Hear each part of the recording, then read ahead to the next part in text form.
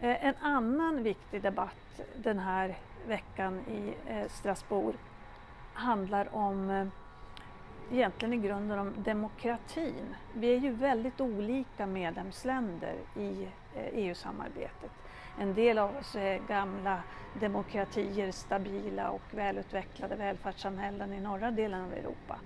En del av oss kommer från länder där det har varit eh, betydligt skakigare under eh, ganska lång tid, framförallt Grekland och en del andra länder i södra delen av Europa där man inte har vårt eh, välfungerande välfärdssamhälle än. Och sen har vi östra Europa där demokratin inte har existerat under ganska lång tid och nu ska de ingå i ett ganska avancerat samarbete som verkligen kräver att man eh, kan praktisera demokrati, att man har erfarenhet av det.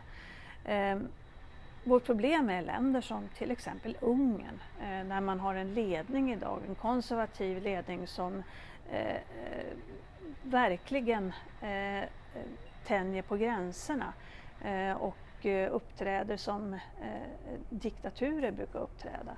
Eh, nu diskuterar vi i EU en, ett nytt, eh, ska man kalla det för en en slags regel, en ny regel, en, eh, en ny paragraf eh, som handlar om vilka demokratikrav som eh, länderna måste uppfylla för att få vara medlemmar av EU.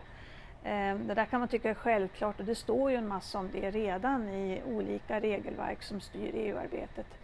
Ehm, men eh, nu eh, diskuterar vi och det finns ett konkret förslag om att stärka eh, kraven eh, när det gäller eh, att länder som till exempel Ungern måste leva upp Eh, till grundläggande demokratiska eh, krav för att eh, kunna ingå i unionen.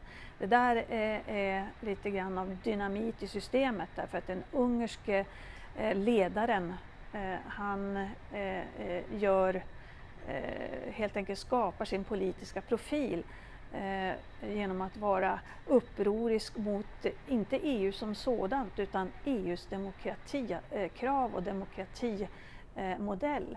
Eh, och det där eh, det kommer det att bli tuffa tag om eh, närmaste dagarna och säkert också i fortsättningen.